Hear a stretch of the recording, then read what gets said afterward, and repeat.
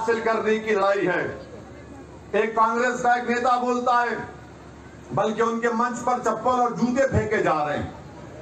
जा रहे हैं। वो दुकान लगा दिए जूतों और चप्पल की। और एक कोई उनका विधायक, मंत्री कहता है कि जब मैं लड़ने पे आ जाऊँगा तो कोई बाकी नहीं रहेगा।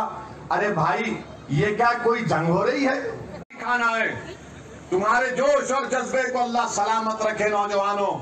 ये लड़ाई हम तुम्हारे लिए लड़ रहे हैं। और आज आप देख रहे हैं कि कांग्रेस पार्टी में माशाल्लाह से एक सर्कस बनी हुई है कांग्रेस पार्टी।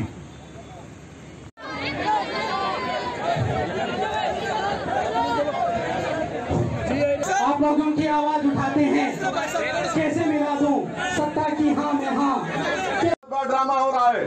जो आपकी सबका मुख्यमंत्री महारानी है वो परेशान है कि भाजपा के बड़े बड़े नेता उनकी तरफ़ देख ही नहीं रहे। वो भी परेशान है। मगर ये दोनों हमसे ज़्यादा परेशान हैं। ये क्यों आ रहा है? चुनाव एक साल है, अभी से क्यों आ रहे हैं? आएँगे हम, ज़रूर आएँगे। ये मेरा संविधानिक हक है मुझे। मैं अपनी बात जनता के दरमियान में खड़े होकर बोलूँगा। ये जनता तय करेगी, आवाम तय करेगी। अगर मेरी बात में सच्चाई है, अगर जनता मेरी बात से मुतासर होती है अगर आवाम अपने मासूम बच्चों के मुस्तबिल के लिए फिक्रमंद है, अगर जनता ये चाहती है कि उनको सम्मान मिले, जाट भाइयों को उनकी सियासी शूर की मुबारकबाद देता हूँ। वो वो भी मुसलमानों के बराबर नौ फ़ीसद है, मगर उनके विधानसभा में सैतीस विधायक हैं। मैं हमारे राजपूत राजपूत भाइयों को सलाम करता हूँ। वो राजस्थान में आबादी में छह फ़ीसद है और उनके सत्रह विधायक जीत कर जाते हैं। आप मुसलमान नौ फ़ीसद हैं और नौ है। अब बताइए, इसका जिम्मेदार आप नहीं है तो कौन है? कांग्रेस पर, भाजपा पर मत जाइए। अगर आप ये तय कर लेंगे कि नहीं, इसके बाद अब ये गलती नहीं होगी। अब हम इनकलाब पैदा करेंगे। तो जिस तरह जाट और राजपूतों ने अपनी सियासी ताकत को मनवा लिया। क्या राजस्थान के अल्पसंख्यक समाज, क्या राजस्थान का दलित अपनी सियासी ताकत नहीं बना सकता? मुझे यह बताया गया कि हमारी एक बच्ची, बेटी जिसका नाम सकीना था, वो डिडवाना में कॉलेज के प्रेसिडेंट का इलेक्शन, अध्यक्ष का इलेक्शन लड़ रही थी। सबने मिलकर सकीना को हरा दिया। कितनी दुश्मनी, कितनी नफरत है।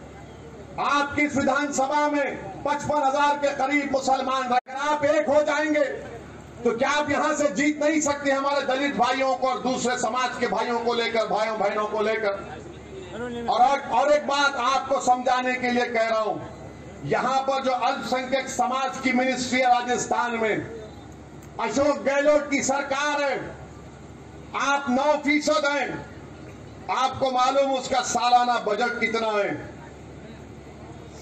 साठ लाख की आबादी राजस्थान में।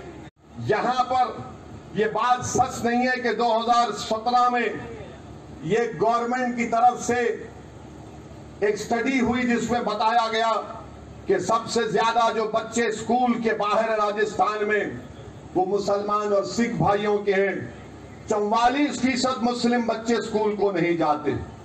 क्यों नहीं जाते? क्योंकि एक ही स्कूल है या स्कूल नहीं खोले जाते। बड़ा ड्रामा हो रहा है। जो आपकी सबका मुख्यमंत्री महारानी है, वो परेशान है कि भाजपा के बड़े बड़े नेता उनकी तरफ़ देख ही नहीं रहे। वो भी परेशान है। मगर ये दोनों हमसे ज़्यादा परेशान हैं। ये क्यों आ रहा है? चुनाव एक साल है, अभी से क्यों आ रहे हैं? आएँगे हम, ज़रूर आएँगे। ये मेरा संविधानिक हक है मुझे। मैं अपनी बात जनता के दरमियान में खड़े होकर बोलूँगा। ये जनता तय करेगी, आवाम तय करेगी। अगर मेरी बात में सच्चाई है, अगर जनता मेरी बात से मुतासर होती है, अगर आवाम अपने मासूम बच्चों के मुस्तबिल के लिए फिक्रमंद है, अगर जनता ये चाहती है कि उनको सम्मान मिले, नरेंद्र मोदी मुर्दाबाद, क्या करोगे?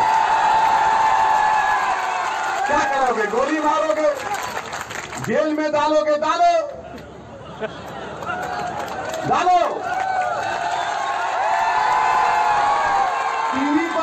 आकर आए और फिर एक बीजेपी का विधायक जो था, हम आते हैं तो हमको परमिशन नहीं मिलता।